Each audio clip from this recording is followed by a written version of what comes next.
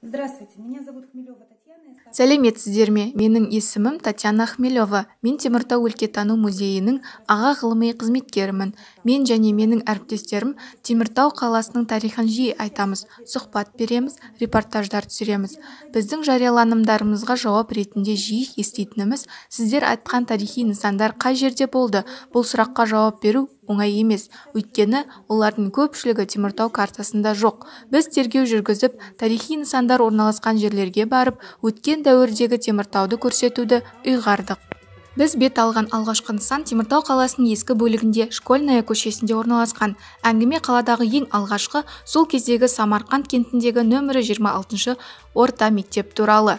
Қазір бұл жерде жанармай құю станциясы орналасқан. Ал 85 жыл бұрын мұнда мектеп ашылды. Онда қуғын-сүргін дәуірінде әртүрлі себептермен қазақстанға жіберіліп самарқанд кентінің арнайы комендатурасында болған тамаша мұғалім ғалымдар сабақ берді.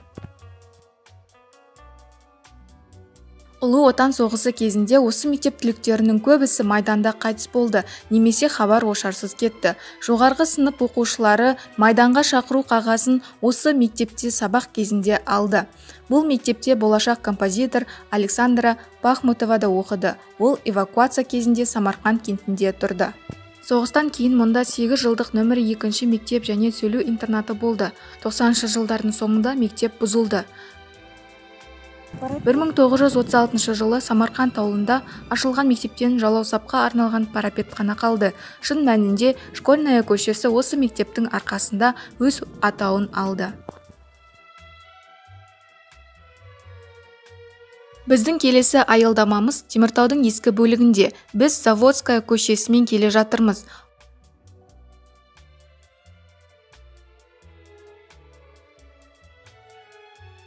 Бұл зауытта 1944 жылдың 31 желтоқсанында алғашқы қазақстандық болат шығарылды мұнда қазақстан магниткасының тарихы басталды.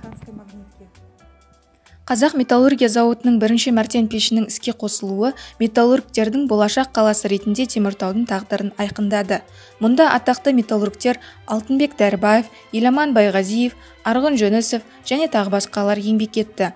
Металлургиялық теміртаудың еңбек даңқы осында басталды. 1996 жылы қазақ металлургия зауыты сол кезде қарағанды металлургия комбинатының сортты прокат өндірісі жабылды.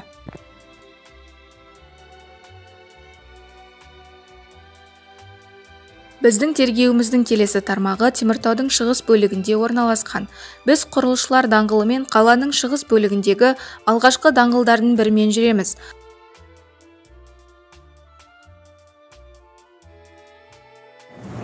Абай көшесі мен құрылысшылар даңғылының қиылысы. Мұнда қазақстан магниткасы құрылысшыларының күшімен георгий дмитриевқа ескерткіш орнатылды.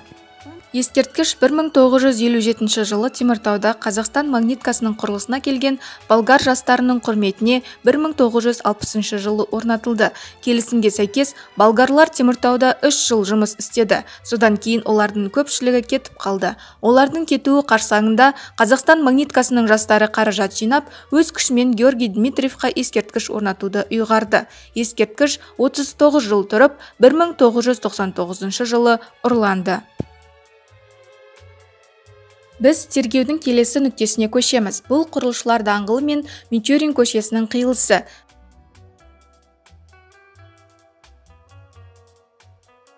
Вот это остатки. міне 50-60 жылдардағы теміртау қаласының маңызды мәдени мекемелерінің бірі құрылысшылар мәдениет үйінің іргетасының қалдықтары.